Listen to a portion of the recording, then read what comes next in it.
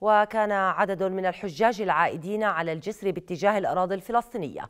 أبدوا شكرهم وعرفانهم لما شهدوه من سهولة وسرعة في الإجراءات وحسن الاستقبال من قبل الكادر العامل هناك نشكر إخواننا الأردنيين في هذا البلد الطيب على حسن المعاملة واللي وجدناها من المدورة الأردنية الحدود الأردنية السعودية وفي غور نمرين من فضل الله هذا العام عام مميز من الإجراءات والتسهيلات وهذا من فضل الله علينا وعليهم بإذن الله تبارك وتعالى. كل الأجهزة الأمنية هون ما شاء الله ما قصروا يعني سلمنا جوازاتنا رحنا صلينا رجعنا لقينا كل شيء جاهز من فضل الله. حسن المعاملة والأداء وسرعة الإنجاز والحمد لله رب العالمين توفير كل شروط السلامة للجميع.